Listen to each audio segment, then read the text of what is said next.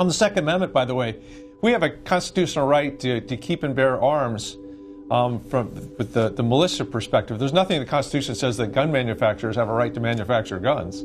Uh, that's a, you know, you can maybe leap to that, but they are not mentioned in the Constitution.